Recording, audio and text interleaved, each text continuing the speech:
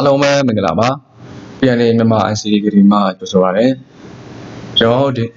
ဒီနေ့တင်ပြမယ့်အကြောင်းအရာလေးကတော့ကျွန်တော်ရုံးတွေစက်ရုံတွေဟိုတယ်တွေနဲ့ခြားသောလုပ်ငန်းတွေမှာမရှိမဖြစ်အသုံးပြုနေကြတဲ့ Wi-Fi ခေါ်လာ wireless နည်းပညာများကိုကျွန်တော်ဒီနေ့ configuration လုပ်ပုံလုပ်နေကိုတကယ် real world ကနေပြီးတော့ကျွန်တော်တင်ပြပေးမှာဖြစ်ပါတယ်ကျွန်တော်ဗီဒီယိုလေးတင်တဲ့ ချိန်လေးနဲ့နောက်ကြရတဲ့အတွက်ကျွန်တော်ကိုခွင့်လို့နားလည်ပေးကြပါကျွန်တော်ဒီဘက်မှာအခြားသော software တွေနဲ့ကိုယ်တိုင်ကိုကြဒါဒီ design တွေဆွဲတာအစပြီးတော့ဒီသက်ဆိုင်ရာ device တွေကိုကျွန်တော်တက်ဆင်နေရတော့ကြောင့်ကျွန်တော်ဗီဒီယိုလေးတွေကို configuration ကိုခုမှလုပ်ပြမှာဖြစ်ပါတယ်ခင်ဗျာဟုတ်ကဲ့ကျွန်တော်လည်း device တွေနဲ့ပတ်သက်ပြီးတော့ configuration မစခင်မှာကျွန်တော်အရင်ဆုံးဒီ design တွေရင်းသွားကြည့်ရမှာပေါ့နော်ကျွန်တော်လုပ်ထားတဲ့ design တွေ ဟုတ်ကဲ့ဒါကျွန်တော်လုပ်ထားတဲ့ design တွေပါဒီမှာကျွန်တော်ဗာလေးချိမလို့ဆိုတော့ကျွန်တော်ဒါဒီ wireless AB ပေါ့နော် AB ဆိုတော့ကျွန်တော် access point configuration ပြပါတယ်အမှကျွန်တော် internal line တိုင်းရှိပါတော့ internal line ကနေပြီးတော့ကျွန်တော်အပြင်းလာတဲ့ internal line ကဆောက်လို့ public အဲပေါ်လာပြီဆိုတော့အဲ့ကျွန်တော် share network ဖြစ်စေတော့မဟုတ် dedicated အဲတကယ်လို့ရနေပြီးတော့ line လာတယ်ဖြစ်စေ channel ထားတဲ့ line ဖြစ်စေကျွန်တော်သုံးပြီး ကိုယ့်ရဲ့ဆာဝါကိုယ့်ရဲ့နောက်ဝကိုယ့်ရဲ့ယောကုညာစီကိုမဝင်ခင်မှာကျွန်တော်အဓိကဘာလဲဆိုတော့ဒီဒါလေးနည်းနည်းအရင်ပြောပြမယ်နော်ကျွန်တော် farm ပေါ့နော် farm ကနည်းနည်းကြည့်ပါတယ်ခြားတော့နော်48 device တွေခြားတော့နော်မျိုးမျိုးတွေကိုတိုင်းငယ်တဲ့ group prefer ဖြစ်ရကိုလုံးငယ်နဲ့တင်တော့တဲ့အားလေးတော့ဆင်းနေပါတယ်ဒီကဘာဆိုတော့ကျွန်တော်ပြန်လာတဲ့ line ကိုတန်းပြီးတော့ Queen နဲ့ server တွေကိုတန်းမထည့်ဘူးကျွန်တော်ကဘာရင်လုတ်တင်လဲဆိုတော့ သက်ဆိုင်ရာ ဒီ security device ဆိုဥပမာကျွန်တော်ဒီ device ဆိုပြန်ကျွန်တော် license နဲ့ပေးပြီးတော့ဟုတ်လားသက်ဆိုင်ဒီနေ့တစ်ခါ license ကြီးတွေဆောင်းပြီးတော့သုံးရတယ်နော်အမှကျွန်တော် solve malware တို့ ransomware တို့အဲ့လိုတွေတန်တွေကကျွန်တော်လွယ်လွယ်တကူလုပ်ငန်းတွေတော်တွေမှာဒီ data တွေမဆုံးချုံမင်းနဲ့အဲ run နိုင်မှာဖြစ်ပါတယ်ဟုတ်တယ်မလားကျွန်တော် server အဓိကရဲ့ server ထောင်ထားရည်ရဲ့က data တွေ store လုပ်မယ်ဟလာ data file sharing လုပ်မယ်အခြားသော service တွေလုပ်မယ်ရှင်ကြရင်ဆောက်လို့ပေါ့ဒီကျွန်တော် security device ပါတော့လာမှာခံထားခဲ့ရှင် online နေပြီးတော့လာမြင်နိုင်တယ်ဟလာ Trojan တို့ ransomware တို့ virus အမျိုးမျိုးတနည်းတနည်းမဟုတ်တနည်းဝင်လာမှာဖြစ်ပါတယ်အဲ့ဒီအတွက်ကြောင့်ကျွန်တော်ကဒီ device ကိုသုံးထားရဖြစ်တယ်နော်အဲတော့လုပ်ငန်း delay မဖြစ်အောင်အမှကျွန်တော်ဒီ server သုံးရရည်ချက်အတိတ်ပဲပေါ်လင်းမှာဖြစ်ပါတယ်နော်ထွေးလုံးနေဆိုရင်ဟိုဒီအပြင် share one hour ရသုံးတယ်အပိုင်းမှာဖြစ်သွားဆိုတော့အဲ့ဒါဒီ ransomware တဲ့ကိစ္စဆိုအမှတည်ရတယ် encrypt ဖြစ်သွားအဲ့လိုဆိုတော့အဲ့ဆိုရင်ကျွန်တော်ဒီမှာကျွန်တော်သုံးထားတဲ့ device လေးကတော့ ဟာဒီ security ပိုင်းတော့နောက်ပိုင်းရ security ပိုင်းကျွန်တော်လည်းအရေးကြီးတဲ့အခန်းကဏ္ဍပါဝင်တဲ့အတွက်ကျွန်တော်နောက်ပိုင်းကိုထပ်ပြီးတော့ချိန်ပြပေးမှာပဲခုလောလောဆယ်ကျွန်တော်အဓိက wireless configuration ဖြစ်မှာလို့မှဖြစ်ရတဲ့အတွက် wireless configuration ပဲကျွန်တော်သွားရအောင်ဒီမှာသုံးထားတဲ့ device တွေကကျွန်တော်ဒီတော့ security device ဖြစ်တဲ့ဟာ firewall ချိန်မဲ့ဟာ switch ဆွဲတဲ့အပေါ်မှာကျွန်တော် manage လုပ်တဲ့ဟိုဟာ microdis เนาะ microdis device တွေအာမှာ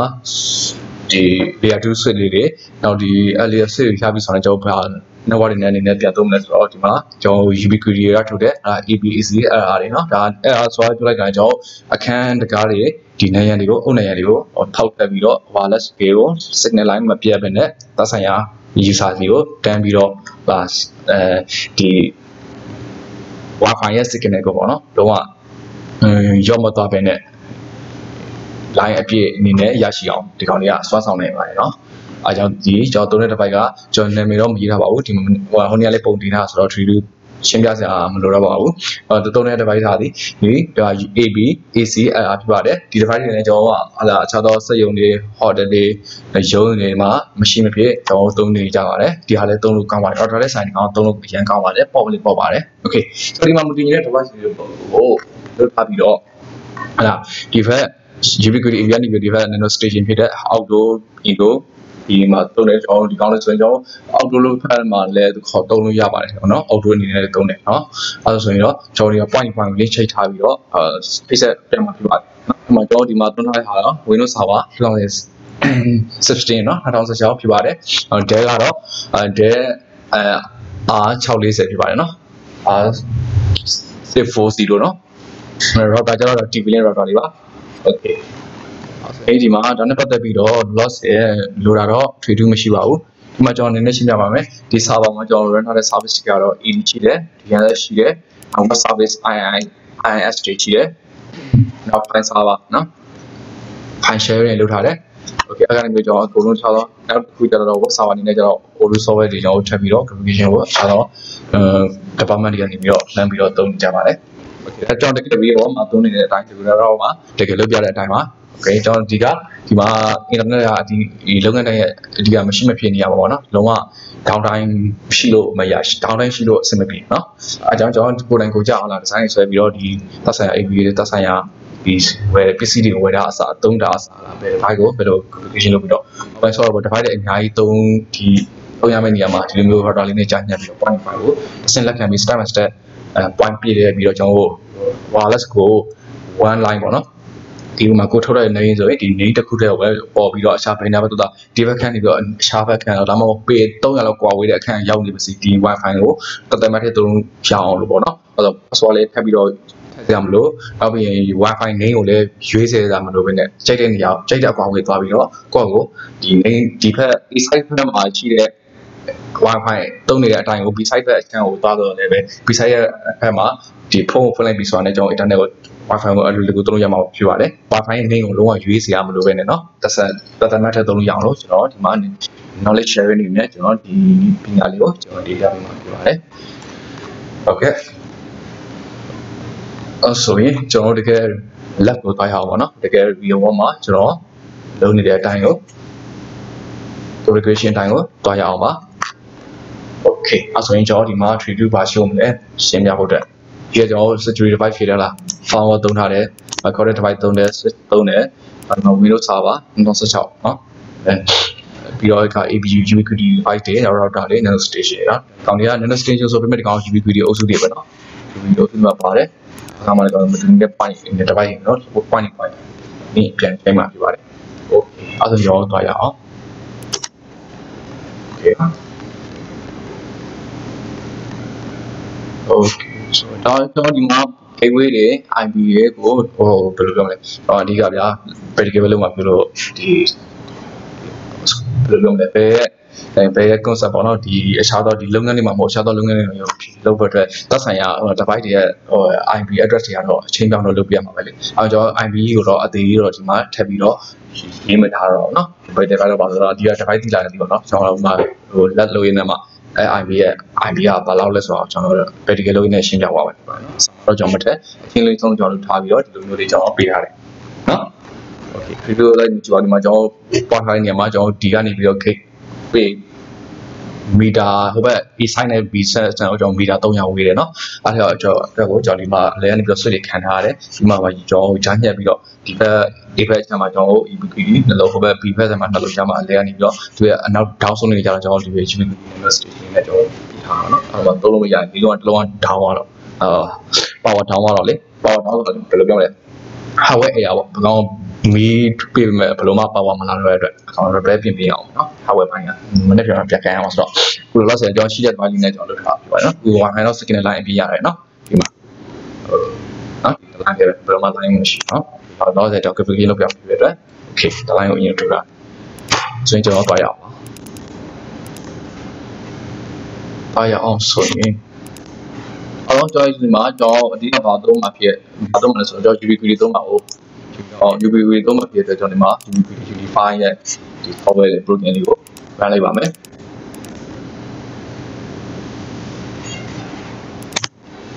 ကဲကျွန်တော်နည်းနည်းပါရှင်းပြလိုပဲရှင်လေအချိန်ကြီးမသိရနဲ့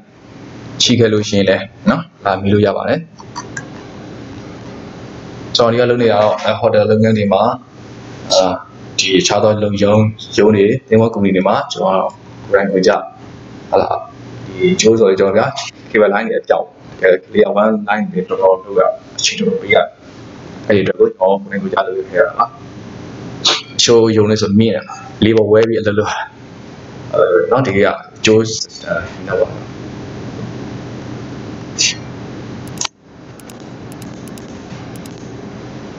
စာပြေးမှာဒါလွယ်ကောင်းလွယ်လိုက်ပါတကယ်အပြင်ဗီဒီယိုဘောမှာကျတော့အချိန်တစ်ခုပြီးပြီးတော့ဒါတွေတက်ဆင်ရတာပါ တက်ဆင်ရရှင်ရတယ်သူတက်တက်နဲ့တက်တက်ရေးဖြစ်အောင် PHP ကိုတက်လိုက်တော့ဆော့တော့နော်ငယ်တွေကလည်းအဆင်ပြေကျွန်တော်လည်းအင်းတော့စာလေးတွေတော့တင်ပေးမလို့ပါဒါပေမဲ့ဒီနောက်ပိုင်းကနေနဲ့ကျွန်တော်နေရာအချိန်ပြောင်းလုပ်တာရနောက်ပြီးအလုပ်နည်းနည်းကြာတယ်ကျွန်တော် online video တွေကိုဒီရရောက်မလုပ်ဖြစ်လို့ကျွန်တော်ခုနောက်ပိုင်းကကျွန်တော် online video နဲ့ပတ်သက်ပြီးတော့ဒီရရောက်လေးပြန်လုပ်ပေးပါမယ် Okay ဒီမှာ UV Unify controller လေးပွင့်သွားပါပြီကျွန်တော်ဒီမှာ flash လုပ်ရအောင်ပွင့်ရအောင် Okay ဆိုဒီမှာ PS password ကတော့ admin ဆိုရောက်လို့ပေးထားတယ် AD combine NISDR A ဒီတော့ password ကတော့ကျွန်တော်ပြတယ်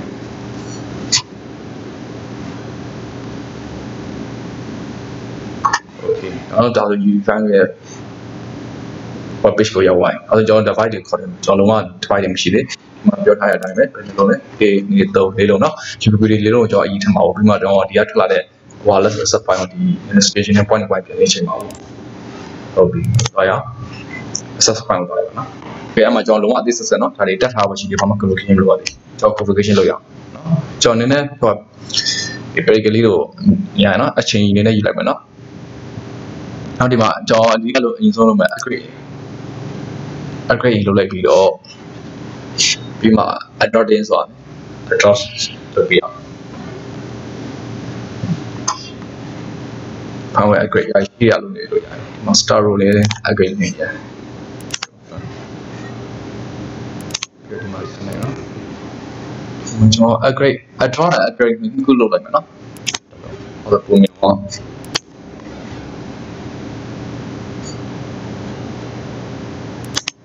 upgrade နော်။တော်တော်ပြီးတော့အဲ့တော်လုံးတော်လုံးကသူက upgrade လုပ်ပြီးသားတဲ့။မနေ့သူ upgrade မတောင်း။ဟုတ်။ဘာလို့မတောင်းနော်။ ဘာလို့ဆိုတော့ upgrade ရနေ။အဲဒါလို့ဆိုသူ editor ဖြစ်တဲ့အတွက်သူ update နော်။ driver ကြီးလုပ်လိုက်မယ်။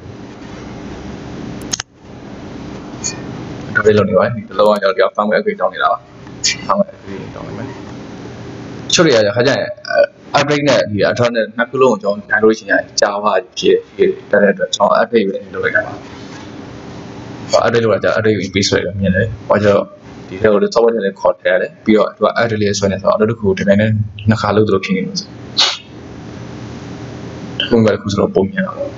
ဆိုတော့သူရဲ့ IP တွေကဘာလို့လဲအဲ့လိုလုပ်လဲ190.160.90.71နော်။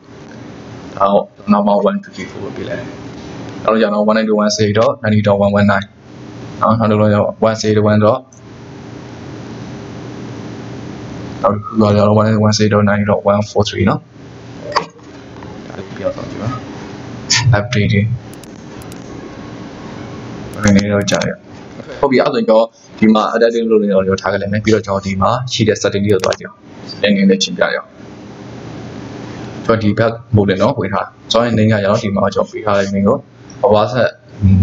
wireless network point ကိုပြန်မပြရလဲဆိုတော့ Wi-Fi network မှာရှိတဲ့ကျွန်တော်ဒီမှာနေကို နော်ဒီမှာကျွန်တော် Wi-Fi နေကိုထားပေးရရတယ်နော်မဒါကိုယူတော့နော်ဒါ enterprise နဲ့ကျွန်တော်ထားတယ်နော်ဒီ client ကိုကျွန်တော်ဒီမှာဒီလို default ပဲပေးထားတယ်နောက် freelance တော့မသုံးထားပါဘူးနော် MAC filter လည်းပိတ်ထားတယ်ကျွန်တော် MAC filter ကိုကျွန်တော် firewall နေပြီးတော့ပဲအော် firewall မဟုတ်ဒီ Vicor device ကနေပြီးတော့ဒါလေးပဲ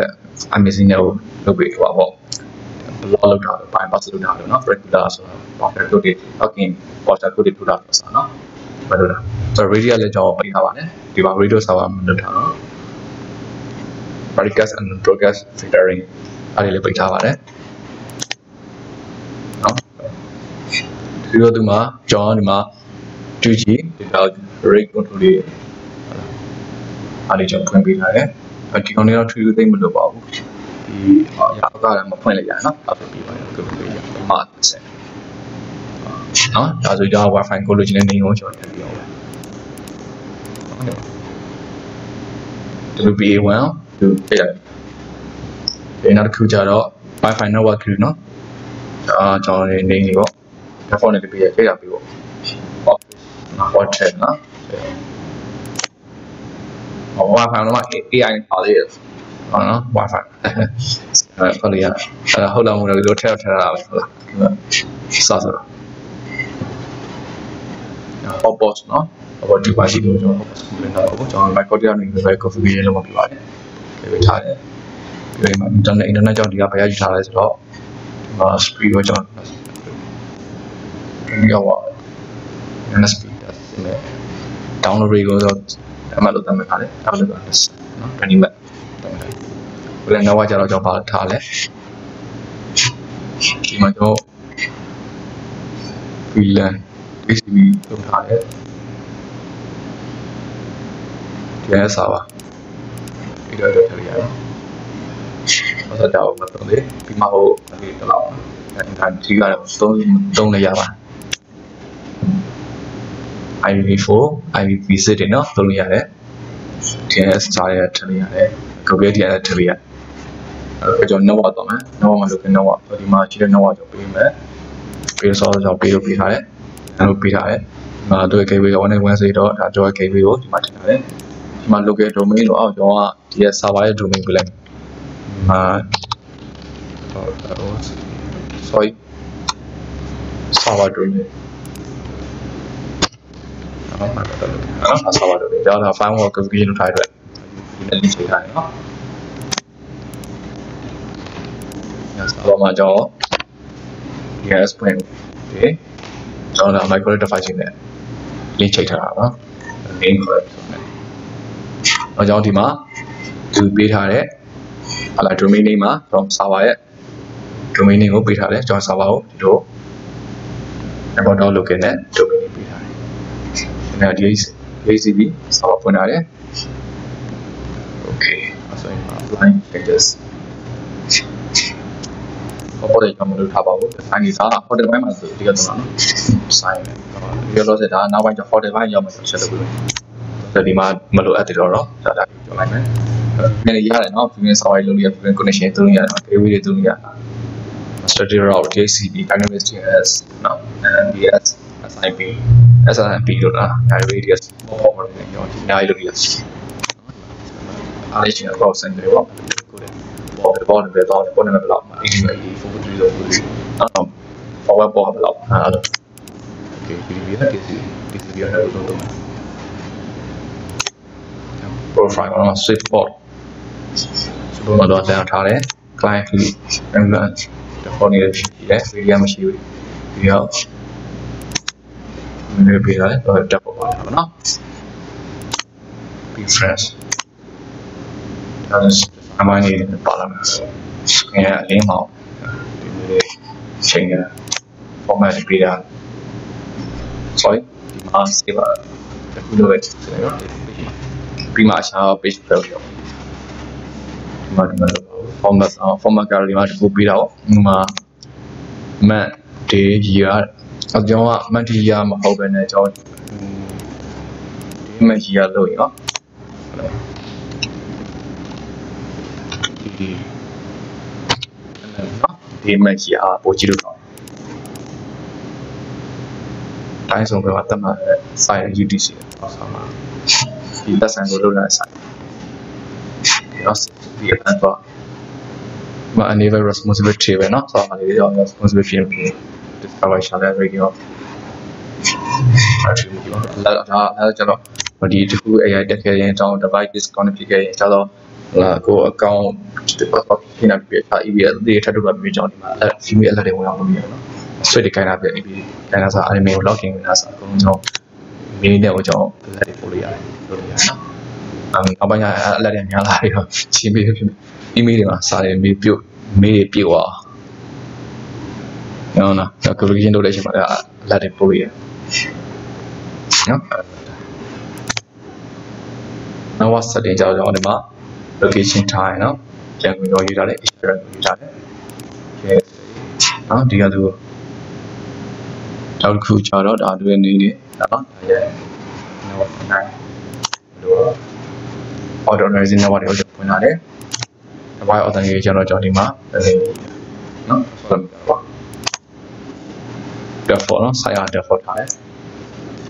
ဟိုဟို some ဟို ICD office နော်အဲ့ဒီကနေပြီးတော့တော့ data bucket လေးနော် export လုပ်လို့ရတယ်။ create communication file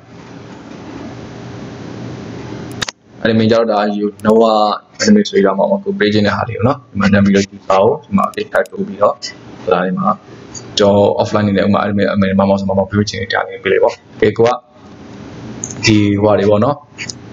အဲ ubiquity account တွေပါရှိမှဆိုရင်ဒီဘက်မှာအဲ email နဲ့ပို့ပြီးတော့ configuration ဟို email နဲ့ပို့ပြီးတော့ကျွန်တော် link တွေကို link ကနေပြီးတော့ register ဝင်လုပ်ပြီးတော့ account အဲ ubiquity account တွေဝင်လာတော့เนาะဆိုတော့ admin panel တွေကနေပြီးဝင်လာတော့လို့ရတယ်ကျွန်တော် loss ကျွန်တော်ဒီကိုကိုတိုင်း name ကိုတကယ် account authorization panel နဲ့ဝင်ရအောင်လို့ကျွန်တော် memory graphic ကနဲ့ဟာလုပ်ထားပါတယ် okay အဲ့ တော့ဒီဒါတော့လည်းပါအမှအမှတမီတော့တစ်ခါရောက်ဆိုတာ ਨੇ ဟိုကသူကဆိုင်ရိုးတွေအလေးကိုကျွန်တော်အများကြီးပြီးရတယ် view လေးထားလာ administrator ထားမှာစီပါ administrator ထားမှာထားရ okay နော်ဒီမှာဒီမှာကျန်တယ်နော်အဲ့တော့ဒီကွန်လာအဲ့ဒီဒီပဲဟိုလာဒီဖိုင်ရ fan ဝေါ်ဒီကိုယူပေးတာနော်ပမာထွေးမကြီးထားလေးပဲ permission တွေတော့အဲ့နေတော့တင်ကြလာတယ် beta နော် beta feature နဲ့ဒီမှာ controller set တွေ controller basic ပါမယ် remove အာဒီ basic ဆိုတာဒီရဲ့ version တွေကိုအကုန်လုံး controller ရဲ့သက်ဆိုင်ရာ version တွေကိုတက်ပြီးတော့ကြည့်ရတာ remove အစကြတော့ကိုမှဒီ UBB တွေ account ထည့်လောက်ခဲ့လို့ရှိရင်ကျွန်တော်ဒီဒီဒီနေရာမှာပုံမှန်ချတဲ့နေရာမျိုးကျွန်တော်ဒီ UBB တွေရဲ့ဟလာဒီလေ Wi-Fi setting ဆိုတော့အခြားတနေရာနေပြီး manage လုပ်လို့ရတယ်နော် from နဲ့ဝင်ပြီးတော့ ဒီကြောင့်တင်ဝင်ချိန်ထားလို့ရတယ်အားကြတော့ပါဆို UBQD account လို့နော် UBQD ကဒီမှာသွားပြီးတော့သွားပြီးတော့ login ထားလို့ဒီကို register လုပ်ထားတဲ့ device တွေမှာမြင်အောင်ကိုလိုလာမြင်အောင်ဒီမှာဆက်ပြီးကြည့်ရရတယ်နော်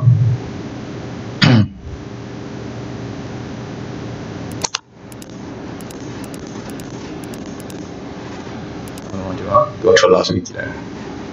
အားကြည့်ပြီး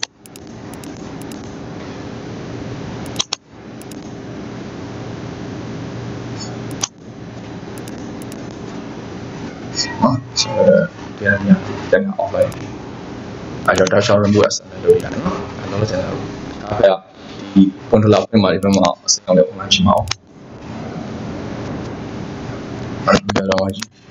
file server နော်ဆိုတော့အနေက office number နဲ့ပြရတယ်အဲတော့က204နဲ့ကြာနော်190.170.90.24 sorry 204နဲ့ကြာတယ်အော် maintain နဲ့ maintain နဲ့မှာဘာလုပ်လို့ရလဲဆိုတော့ကျွန်တော်ဒီမှာသူ့ကို information တွေကို download လုပ်လို့ရတယ်နော် notification တွေတီးရတယ်ကဲ package တော့ကျွန်တော် data ရဲ့ package တော့မှာဘယ်နဲ့စားလဲအရှိတာဥမာကိုဟိုတဲစာ configuration လုပ်တာတဲစာကိုပြန်ပြီးတော့1 day ဆို7ရက်တော့စားတယ်နော်ဒီဘက်စာဒီဘက်စာတော့ download ပြင်ပြီးတော့ကျွန်တော်ဒီရဲ့ဒီ package file ကိုတည်ထားလို့ရတယ်ပေါ့နော်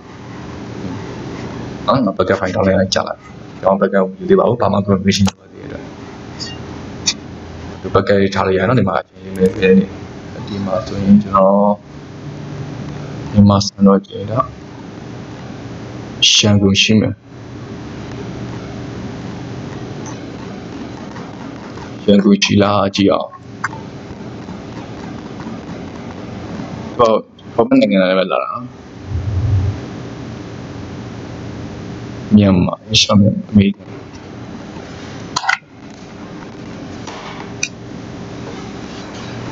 ရှားမှာအမေရင်ကုန်ဖြစ်ပါလေအရီယိုတွေရှားတယ်ဟာဟုတ်ရှားတယ်အာရှာအော်မတွေ့ပါလား Africa Asia Okay ဒါတော့ဘာမှပြဿနာမရှိပါဘူးဒီမှာတွေ့ Okay နော်မရှိရထားရတာဘာမှမပြောပါဘူး အကောဘက်ကကိုတမ်းမမခနဲ့ဆိုခနဲ့နော်စတင်အောင်လို့စတင်ခနဲ့ဆိုခနဲ့ဒါဆို fine fine ဘယ်လိုလဲအဲ့လိုရအာ bank codification ကြတော့အာ user domain နဲ့ controller domain ကိုဟုတ်ပြရတာဥပမာဆိုတော့ controller domain နဲ့ IP ကိုကျွန်တော်အောက်ပေးထားအဲ့တော့ဒီမှာအေးလို့ပေါ့ဒီဟာလည်းပေးထားတော့သူက unify UI domain တော့ IP ကိုတော့ရပိုင်းမပေးတော့ပါဘူး automatic နော်တိုင်းတွေကိုပြီးရဟို automatic လုပ်ရမှာဒီဟုတ်ပြီဒါဆို setting လေးကျွန်တော်နေတော့ပါရှင်းပြတာနော် tree တော့ဘာမှမရှိပါဘူးဒီကလေးတော့ကျွန်တော် application ကို designer လေးလုပ်ပြလို့ရှိရင်နော်လောက်ကောက်ကိုလုပ်တဲ့မှာယူရတယ်ကိုယ်တိုင်ကိုကြလုပ်ကြည့်ပါ hardware ပါတယ်အရင်တော့ tree မခက်ပါဘူးဟုတ် စရင်ကျော် setting နဲ့ပတ်သက်ပြီးတော့ကျွန်တော်ကျင်းပြပြရရနော်ဒါလေးနော်အောင်တော့ဒီမှာတော့စင်တာကဗီတာမူပြပြတဲ့အတွက်ကျွန်တော် classic မကိုကျွန်တော်ယူလိုက်မယ် classic မကြတော့ဒီတော်တော်လို့ပြောကျွန်တော်ဒီနေ့ကျေပြပြောနော်အဲဒါကျွန်တော်ထုံငမီလို့ပြန်ရှင်းရမယ်နော်ဆက်ကြကျွန်တော်ဒီဘက်မှာဒါဒီရဲ့ကိုတိုလာကိုနေကိုကျွန်တော်ပေးတာအဲဒီမှာအချိန်တိုက်လို့ရတယ်နော်ဒီဆောက်ချန်ကုန်နော်ဒီမှာဒီပတ်ထားရမယ်โอ เคအဲ့ဒါကိုကြတော့ဒီမှာ wireless နဲ့ကြတော့ကိုဘယ်လိုပေးချင်လဲဟလားစတူနဲ့ပတ်သက်ပြီးတော့ဒီကြတော့နော်ပေးလို့ရတယ်အော်မဒီလိုပြီး enterprise နဲ့ပေးထားတယ် okay ဒါလေးတဲ့အဲ့ဒါနဲ့ဝါကိုပေါ်ခြင်းနဲ့ဝါနေနေတော့ပေးရတယ်နော်ကိုလိုချင်ကိုလိုချင်ပေးလို့ရတယ် နောက်ပါကြတော့1910တော့90.0/24နဲ့တော့ဆောင်းလုပ်ထားတယ်။အဲဒါကိုကျွန်တော်ပြချတာနော်။ဟုတ် routing ရ routing ရ firewall တွေပါတယ်နော် firewall တွေပေါ်ပါတယ်လို့ရတယ်နော် okay DPI နော်ဒီကိုပြရတယ် gas control gas control ကြတော့ဒီကဘာမှတော့လဲ hotel လုပ်ငန်းတွေမှာတော့လဲကြော်ဒီမှာမတော့တာ hotel လုပ်ငန်းသုံးမှာဆိုရင်ဒီမှာ gas ကိုကျွန်တော်ဖွင့်လိုက်ပြီးတော့ဒီမှာ ပေါ့ကျွန်တော်အတနာရေးထားထားပြီးတော့ကျွန်တော်ကဒီဘက် design တွေကို login ရဲ့ server ထောင်ပြီးတော့နောက်ပြီးတော့မှ short တွေက firewall ဒီ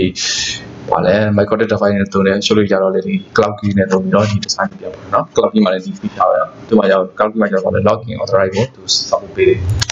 တော့ကြတော့သူက server feature ကိုတသက်ထည့်ရတယ်ဒီတိုင်း software တစ်ခုတွေ run ပြီးတော့ customer နေပြီး login ဟိုကြာလာတယ်ဒီပတ်ဟို security ပေးထားတဲ့အတိုင်းပေးထားတဲ့အတိုင်းကို customer link ချက်ပြီးဆိုတော့ user name password ဟိုတောင်းမဲ့အကွက်ရောက်တော့ရောက်လာတယ်ဒါပေမဲ့ user name ဟို password ဆိုပြီးအကွက်ဖောက်နေတဲ့ name ကိုကြက်ကြက်နာနာမမြင်ရဟောသူမှာ communication ရဲ့ဒီ server data လှမ်းထည့်ပြီးဆိုတဲ့ server asset နောက်ကမှလောက်ဆောင်နိုင်မဲ့ database နဲ့ server တွေမရှိရတဲ့နော် software တည်တယ်ပဲဖြစ်အဲကြောင့် show တွေက cloud key တွေတို့ကြတယ် cloud key တို့တွေကတော့ဒီ micro device နဲ့ပဲနောက်ပြန်ပြီးတော့လုပ်တာပါဒီတော့ကျဒီလိုပါပဲ single single လုပ်ထားတယ်အဲရှိကနေပြီးတော့ကျွန်တော်ဟိုအချီဆုံးကျွန်တော် router တွေပို့ထားတယ်သူကနောက်ကလည်းဆင်ရတာကျွန်တော် nano station နဲ့ပုံမှာ main ကဒီဒီစစ်ကနေတော့ထုတ်လာတာကျွန်တော် GPQD AB ACR နဲ့ကျွန်တော်တွင်တယ်တွင်တာကို single single နဲ့ဒီပြန်ပြီးတော့ control လုပ်ထားတယ်နော် UVB တွေထွင်တာဟော nano station နဲ့ဖန်တယ် nano station နဲ့ထွင်ထွင်တာဟောဒီ router ပြန်ဆင်တွင်နော်အောင်ပါအောက်မှာတခါ micro ticket device ကနေပြီးတော့ control လုပ်လို့နော်ဆွေးပြန်တာအဲ့ဒါဆန်ဆန်အောင် single single နဲ့ step by step လုပ်ရတာနော်သူလည်းလည်းသူရဲ့ procedure နဲ့သူနော်အကွက်ကြီးကြော်ပြီးတော့လုပ်ထားတာမဟုတ်နော် okay တော့ပါရအောင်ဘာကြောင့်ဘလို့ကျင်းနေစနေကြည့်အောင် okay ဟုတ်ပြီဒါဆို setting လေးတွေကောင်းမှုမှုသိပြီးခင်ပါကြိုကြည့်ပါတယ် setting လေးပါပြီးတော့ကျွန်တော် device လေးတွေ communication update တွေဆက်ခိုင်းတာလားအခုပြီးသွားလားပြီးတော့ကြည့်အောင်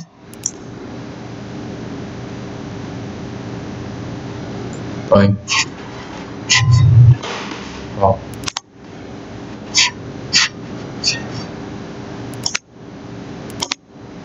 နှလုံးမဲ့ဆိုပါလားတော်တယ်ကြာလိုက်တော့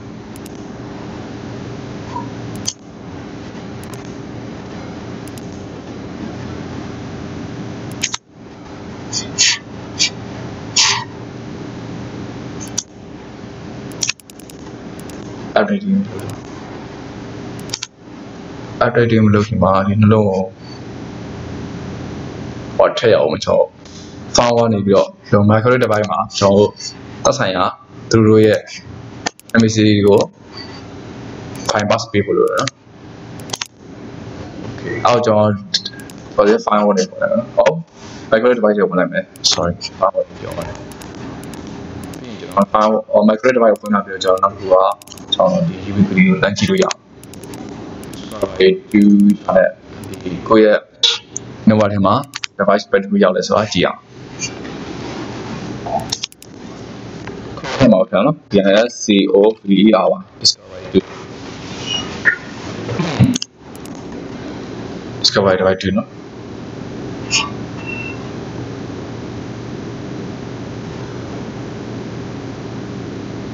ဖလက်ရှ်ပြီး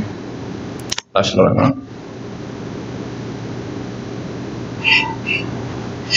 ဒီလာတော့ကျွန်တော် industry ဖြစ်တဲ့ auto device ကိုမသုံးလုံးရှိတယ်ဒီလုံးမှာတစ်လုံးတောင်းသွားအတွက်ဒီသုံးလုံးမရခဲ့တယ်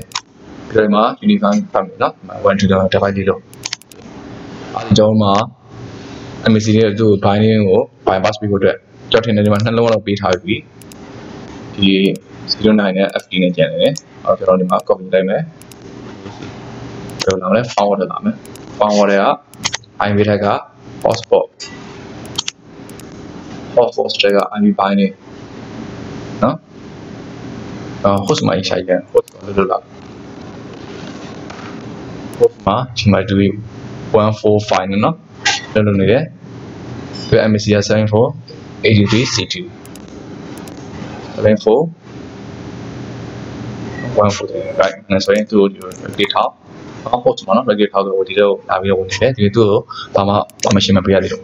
regular regular ဆိုရင်သူ login တောင်းတယ်နော်အောက်ပိုင်း pouch ဒီမှာ comment ရေးအောက်ရေးတယ်အာ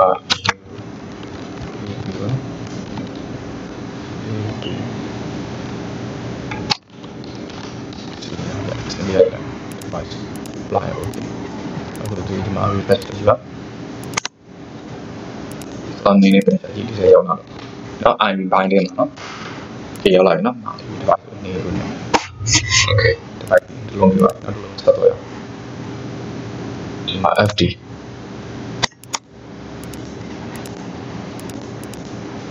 FD မှာဒီမှာ IB ဘိုင်းနဲ့ချောင်းတယ် IB ဘိုင်းကိုရှိမှာမဟုတ်ပါတော့ IB ဘိုင်းကိုဒီ host မှာအရင်ထက်မှာ IB ဘိုင်းကိုရောက်မှာဟုတ်အဲ host မှာတော့ရှာမှာဟု တ် FD လို့ရတယ်ပြီးတော့ IB က119 IB က119ဒီမှာ make IB 5ပါကမမ AP E IC ပြီးတော့နော်အဲဆောင်းမနေရတယ်အဲဒီတော့ရောက်ပါနော် refresh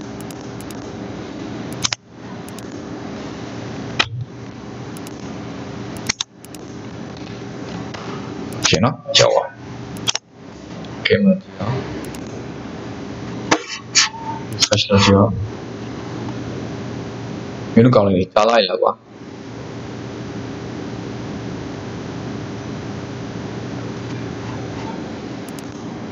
ဟုတ်တယ်အာဘယ်ကောင်ရင်ထောင်း discount တယ်ဟာ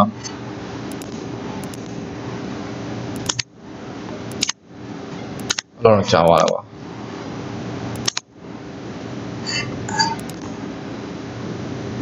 provision receiver provision တော့အနေအထားအထော်ရီအထော်ရီ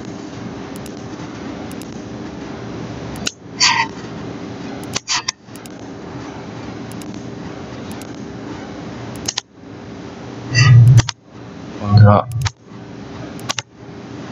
ကျွန်တော် Nova ကို JCP တော့လာနော်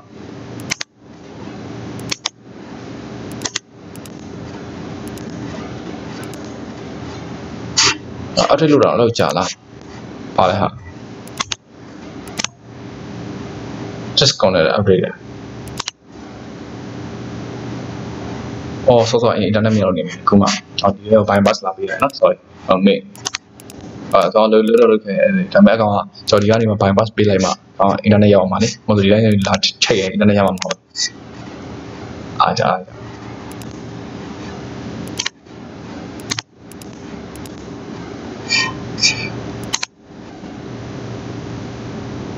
ဒီလုံးမှာ0ပဲရှိတယ်ဘယ်လိုမှ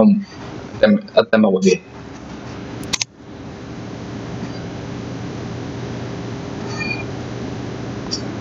အောင် update update